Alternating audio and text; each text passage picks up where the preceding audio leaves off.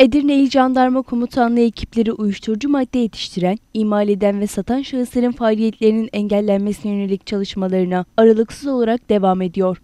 Bu kapsamda ekipler tarafından Havsa, Süloğlu ve Merkez İlçe Sorumluluk Bölgesi'nde icra edilen operasyonlarda 5 gram metamfetamin maddesi, 1 adet tabanca, 1 adet tabanca şarjörü, 7 adet tabanca fişeği, 49.500 kök kenevir bitkisi ve 1 gram kokain maddesi ele geçirildi. Operasyonlarda gözaltına alınan 4 şahıs hakkında adli tahkikat başlatıldı.